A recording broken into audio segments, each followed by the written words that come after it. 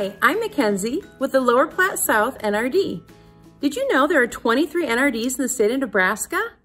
NRDs, or Natural Resources Districts, were formed to help protect and conserve Nebraska's natural resources. Today, we're going to talk about groundwater. Here we go. Okay, if we were to go out into your yard and dig a hole, what we might see might look like this. Notice there are different soil types here inside of my groundwater flow model. We have gravel at the top. You can see the gravel all up in here. Most of my model is sand, which is this lighter colored stuff. And down below I have some more gravel, and right above it is a layer of clay. And the clay is a very fine layer, and so what they did in the model to help show it was to put a piece of foam underneath. So picture this, the layer, the layer of clay is right here. Now, how do we get water into the ground? Well, it comes to us in the form of precipitation. I'm going to go ahead and add some water, and I want you to pay attention to what happens to the color of the sand as I add the water.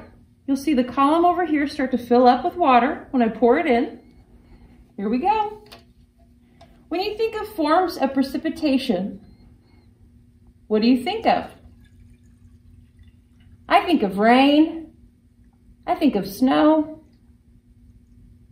I also think of hail, sleet, anything that falls from the sky and puts water back into the ground. Take a look at my model. You can see the sand is starting to turn a darker color as it moves across. The water is moving across my model. This sand is darker. This is still lighter. I'm going to go ahead and add some more water. Here we go. More observations.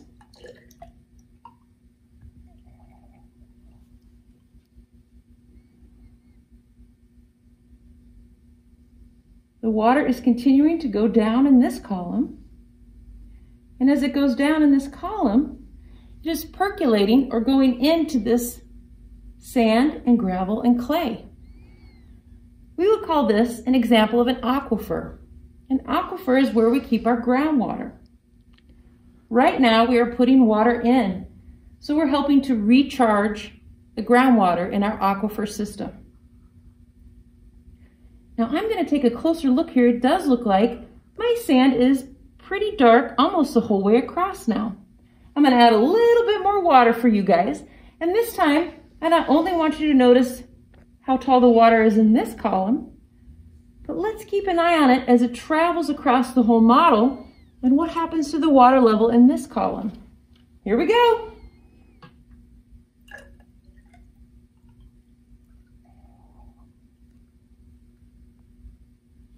Now, I'm to add something else here. You guys keep an eye on what's going on in here. The water level is still going down over here. We're still putting some more water in. Besides rain, water, sleet, and snow, we can also get some recharge into our groundwater from things on the surface of the land. Things like lakes, streams, rivers, and ponds. Notice what happens as I put in lake water into my model. I'm going to come around and take a look with you guys. So you can see the water of the lake is going down. How can you tell? Well, you can see all this blue tint in the sand now. And we tinted it so that you'd be able to see it even better. Let's take a look at the columns of water on each side. On this side, the water level is there. Over here, it's about here but it's rising and it's rising pretty quickly. Let's take another look like this. Here it is, and here's this. They're almost even. We would refer to this as the groundwater table or the groundwater level. And if I were to draw straight across, I would almost be even with the column over here. So it's essentially the level of the groundwater in the aquifer.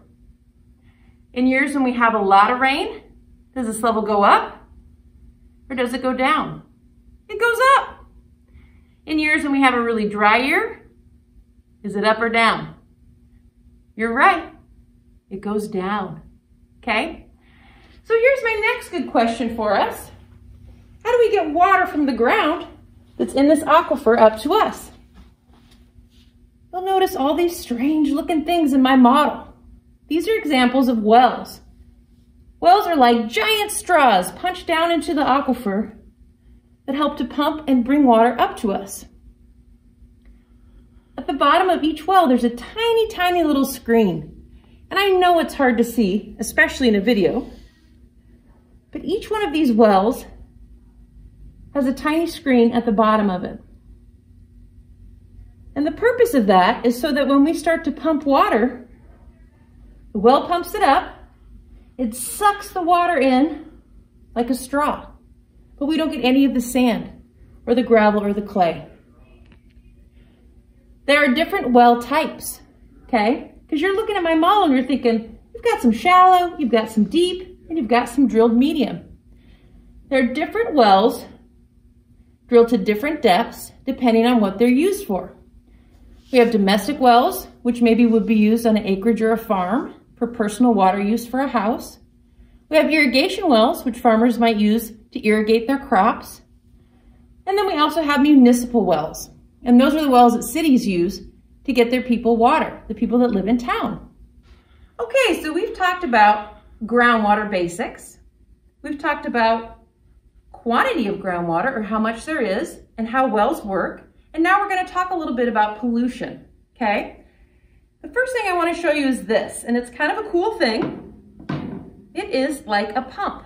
So this sticks into a well, and when I start working over here, it's gonna start to pump water for me out of my flow model. Very similar to what you might have in your mouth at the dentist when they say, open up, and they stick that tube in and it sucks all the water out of your mouth.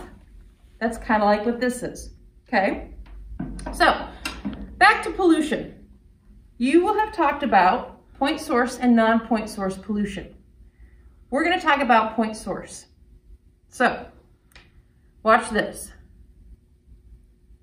I'm adding some pollution here. Consider this story. I live on an acreage just outside of town and I have a barrel of gas that I use to help fill my little tractor and my mower for the work I do on my acreage. I notice that my little gas barrel has a crack, but I think it's okay.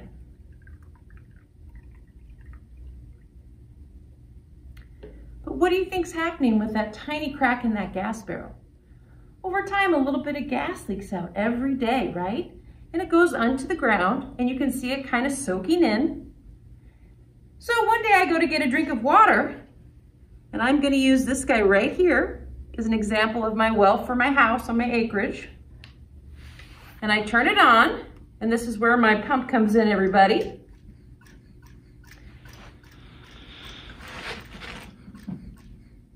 I turn it on and I'm pumping, pumping, pumping. And actually, the water looks okay if you can kind of see in this tube, and I know it's a super hard thing to see, especially through video. But the water looks pretty clear when it comes up through the tube. But when I get it into my cup to take a drink, it doesn't smell that great. So I go ahead and have my water tested, and it turns out that yes, it's polluted. It has some gasoline in it. So stop and consider this. Can you point to the source of pollution? Do we know where it came from? Yes, it came from my small gas barrel on my property. Point source pollution. So now non-point source pollution, if you know what point source is, what is non-point? It comes from a source that you can't exactly point to. And I'm gonna give all of you a chance to discuss non-point source pollution with your teacher versus point source. I wanna show you something else really neat, and that is I'm gonna pump from this well here, and I want you to pay attention to what happens to the color of the sand. Are you ready? Here we go. This is a good hand workout for me. I'm pumping, pumping, pumping. As I pump, pay attention to the color of the sand. Is it changing color? Is the red fading? Is the blue fading? What do you notice? What are some observations that you make? This is a great example of how when you turn a well on and it starts to pump, it will suck the water from wherever it's drilled into and pull it up to the surface to be used. And as you're sitting there, you can kind of see it's pretty hard again. And I'm sucking water through here. Take a listen to this. Just like being at the dentist's office. But look at how much water I was able to pump out of there. So our groundwater flow model had a bunch of water in it. And we just pumped out quite a bit. Now let's take one last look really quickly. Let's look at our groundwater level. I'm over here with this column. I'm over here with this column. What do we think? Can I go straight across? Almost. So the groundwater level has decreased from when we first started because I've been pumping water out of this model or this aquifer. All right, awesome job. Okay, and one more thing that I wanna show you because I think it's very interesting and very neat is that now I'm gonna pump from this well here. So what's the difference with this well versus a lot of the other wells in my model? Well, this well, recall, is drilled underneath this layer of clay. And remember, the clay goes all the way like this. So watch, as I start to pump here, what happens to the water level in this column? And what happens to the water level in this column? Are you ready? Here we go.